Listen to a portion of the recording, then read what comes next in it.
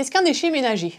Alors, selon le Code de l'environnement, l'article L541.1.1, euh, c'est toute substance ou tout objet ou généralement tout bien meuble dont le détenteur se défait ou dont il a l'intention ou l'obligation de se défaire. Ainsi, si on prend un exemple, eh un ticket de tram non composté que vous avez dans votre portefeuille ne constitue pas un déchet, mais à l'inverse, un ticket de tram composté constitue un déchet dans la mesure où il ne vous sert plus à rien et dont vous avez l'intention de vous en défaire.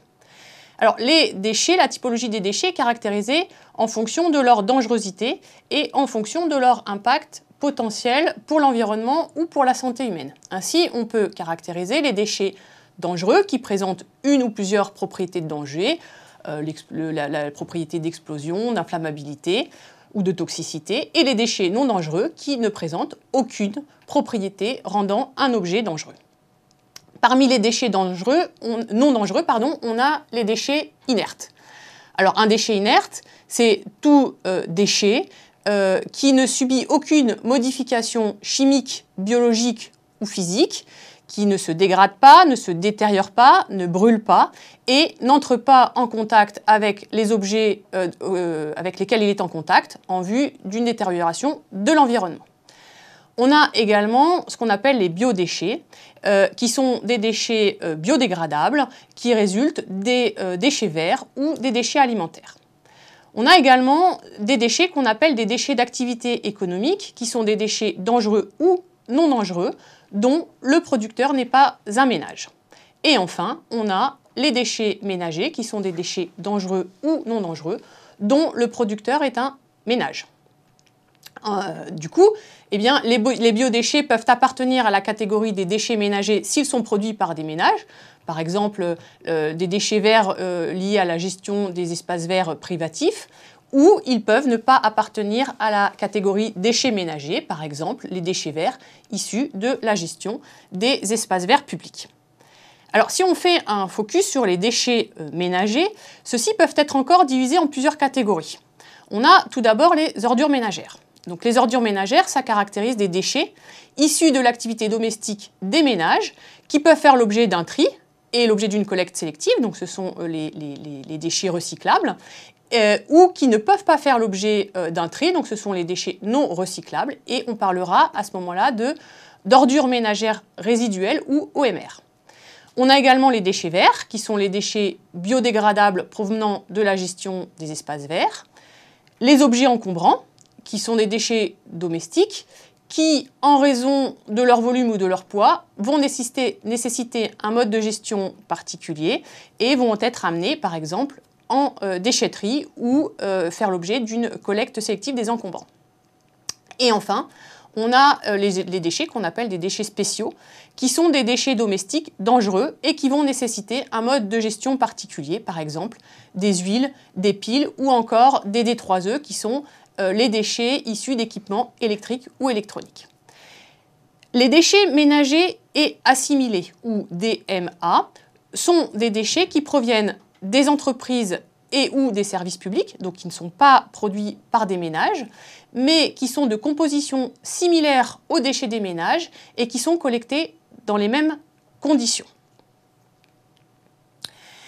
Alors, euh, vous avez ici représenté euh, la part des différents secteurs dans la production des déchets en France et euh, ces parts représentent les tonnages cette représentation est intéressante car elle nous permet d'insister sur le fait que les impacts ne sont pas forcément corrélés aux quantités de déchets produites. Ainsi, vous avez euh, les déchets de l'agriculture et de la sylviculture qui représentent la part en vert, qui sont les déchets les plus importants en tonnage, ils représentent près de la moitié de l'ensemble des déchets euh, français, qui sont d'une part des déchets qui sont biodégradables et dont la grande majorité ne subit euh, aucun, aucune collecte, aucun transport et aucun traitement Ce sont donc des déchets qui ne sont pas très impactants pour l'environnement ni pour la santé humaine. De la même façon, les déchets liés à la construction ou au BTP, qui représentent la part grise, à peu près un tiers des déchets totaux euh, français, sont des déchets qui certes peuvent être euh, dangereux, mais dont une grande partie sont des déchets inertes, par exemple tout ce qui concerne les gravats, et qui ont un impact environnemental et sanitaire moindre. Sur ce graphique, vous avez les déchets des ménages qui est représenté en marron, qui représente 4% de l'ensemble des déchets euh, français et qui donc, on l'a vu, bah, peuvent caractériser différents types de déchets, depuis des déchets verts aux déchets encombrants en passant par les ordures ménagères, et dont la dangerosité va être différente en fonction de ces types de déchets.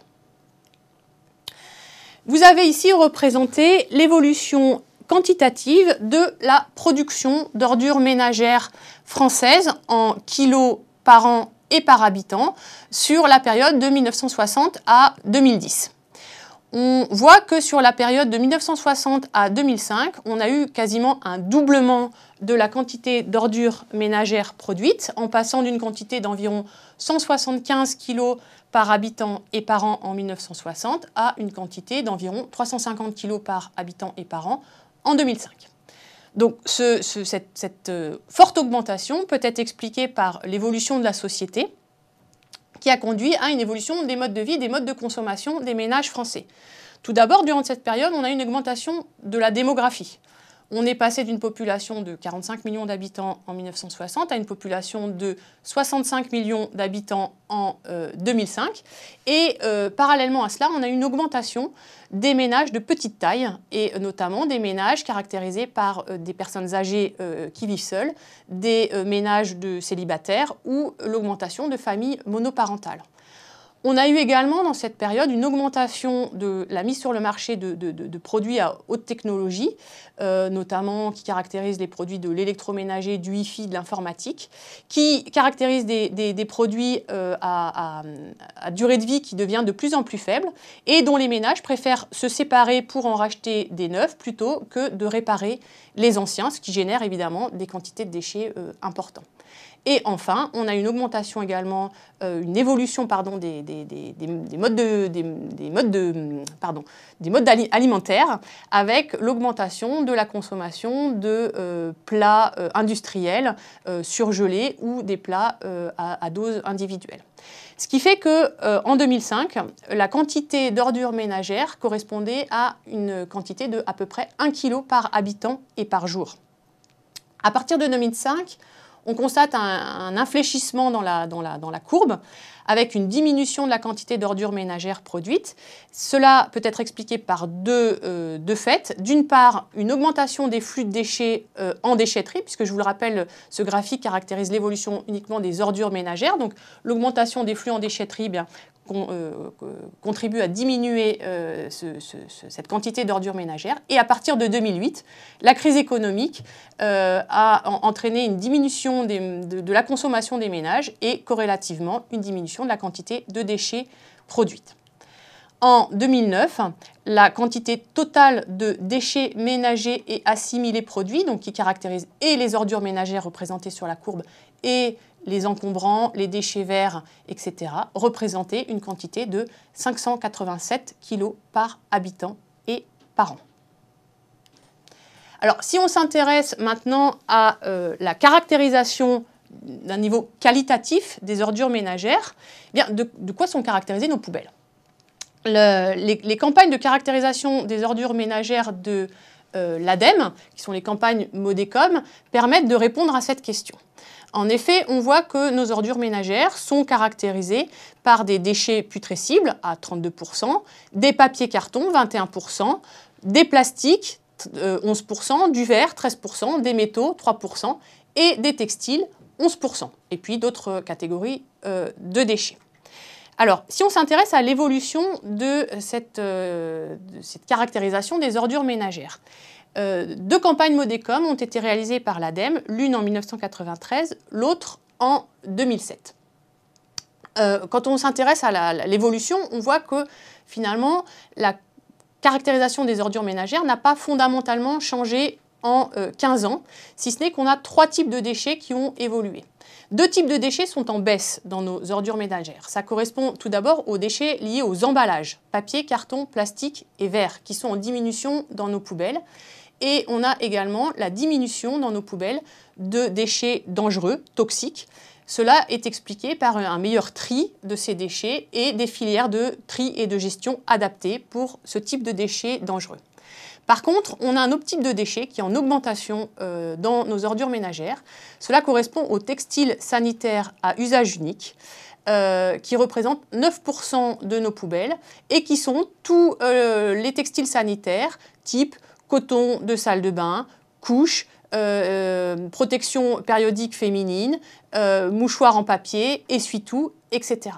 Et on a donc une forte augmentation de la part de ces déchets dans nos poubelles en 15 ans. Alors pour terminer, eh il est important d'insister sur le fait que ce sont euh, des données qui sont des données moyennes nationales et qu'il existe une forte variabilité, euh, une forte variation dans ces données, bien sûr entre les ménages, mais également entre les territoires, avec des différences observées entre territoires ruraux, périurbains et urbains.